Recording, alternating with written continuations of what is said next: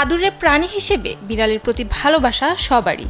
পালিত প্রাণীর প্রতি যেন এই আদরটা আরেকটু বেশি। তাই নিজের বিড়াল নিয়ে আধিক্ষেতা দেখানোটা মন্দ ভাবেন না অনেকেই। গেল শনিবার মিশরে আয়োজন করা হয় বিড়াল প্রেমী এবং তাদের মালিকদের নিয়ে সাংহাই মিউজিয়ামের একটি বিশেষ পার্টি। এতে জড়ো হয়েছিলেন অসংখ্য বিড়াল প্রেমী। On top of the pyramid বা প্রাচীন মিশরের সভ্যতা নামের এই প্রদর্শনীটিতে এ সময় অনেক জাতের বিড়ালের দেখা পাওয়া যায়।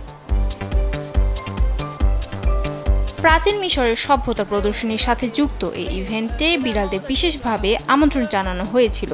এই বিশেষ ইভেন্টে বিড়াল প্রেমীরা তাদের প্রিয় বিড়ালদের নিয়ে মিউজিয়ামে এসেছিলেন।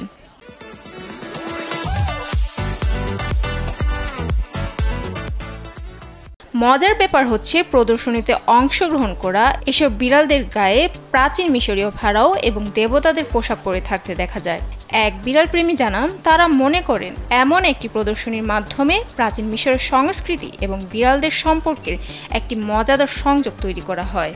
ইভেন্টের অংশ হিসেবে দর্শকরা দেখেছেন কীভাবে বিড়ালদের জন্য বিশেষভাবে প্রস্তুতি নেওয়া হয়েছে। এতে আরামদায়ক কাপড়ের ব্যবস্থাও করা হয়েছিল।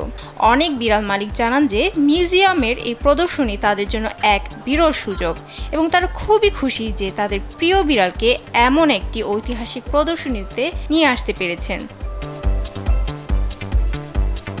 জানা যায় প্রাচীন মিশরে বিড়ালের উপাসনা একটি পৌরাণিক কাহিনী হিসেবে পরিচিত। বিড়ালরা জাদুকরী প্রাণী বলে বিশ্বাস করা হতো এবং তারা বিশ্বাস করেন দেবতারা তাদের রূপ ধারণ করে। এই কারণে অনেক দেবতাকে বিড়াল দিয়ে চিত্রিত করা হয়েছিল। মিউজিয়াম কর্তৃপক্ষের মতে, এই ইভেন্টটি গ্রীষ্মকালীন বিশেষ প্রদর্শনীগুলোর মধ্যে একটি, যা বিরাট প্রেমীদের মাঝে একটি আনন্দময় এবং ভিন্ন ভিন্নধর্মী অভিজ্ঞতার সঞ্চার করে। প্রদর্শনীটির প্রতি মানুষের আগ্রহ দেখে এটি স্পষ্ট যে প্রাচীন সভ্যতার সাথে আধুনিক কাল্পনিক উপাদানের মিল কেমন করে এর একটি আকর্ষণীয় অভিজ্ঞতার সৃষ্টি করতে পারে। এই ইভেন্টটি শুধু একটি প্রদর্শনী নয়, বরং এটি প্রমাণ করে যে ইতিহাস এবং সংস্কৃতির প্রতি ভালোবাসা সব বয়সী মানুষের জন্যই এক আনন্দের উপলক্ষ হতে পারে। পিরামিডের শীর্ষে প্রদর্শনীটি এমন একটি স্মরণীয় মুহূর্ত তৈরি করেছে যা বিড়াল প্রেমী এবং ইতিহাস প্রেমীদের জন্য দীর্ঘদিন স্মরণীয় হয়ে থাকবে।